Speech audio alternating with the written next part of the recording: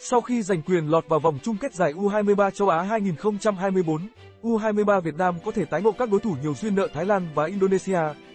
Cụ thể, U23 Việt Nam rơi vào nhóm hạt giống thứ hai của vòng chung kết giải U23 châu Á 2024.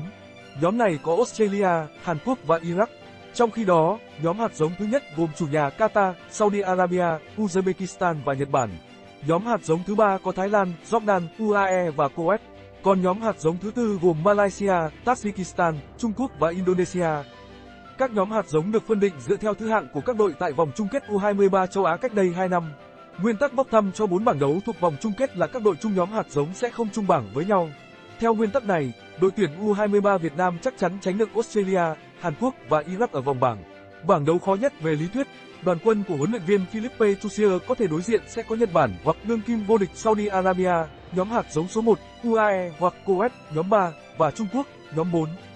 Còn bảng đấu nhiều duyên nợ nhất với U23 Việt Nam có thể là bảng có Uzbekistan. Từ nhóm 1, từng đụng độ chúng ta tại trận chung kết năm 2018, cùng hai đối thủ trong khu vực Đông Nam Á là Thái Lan, nhóm 3, và Indonesia, nhóm 4. U23 Indonesia là bại tướng của U23 Việt Nam ở trận chung kết giải U23 Đông Nam Á hồi tháng 8, nhưng trước đó họ thắng U23 Việt Nam ở bán kết nội dung bóng đá nam SEA Games 32. Còn với U23 Thái Lan, U23 Việt Nam từng gặp đội bóng xứ sở Chùa Vàng tại vòng bảng giải U23 châu Á năm 2022, hòa 2-2.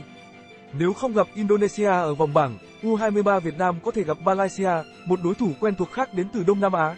Malaysia cũng cùng bảng với U23 Việt Nam ở giải châu Á năm 2022. Ngoài ra, đội bóng này thua U23 Việt Nam ở giải Đông Nam Á hồi tháng 8.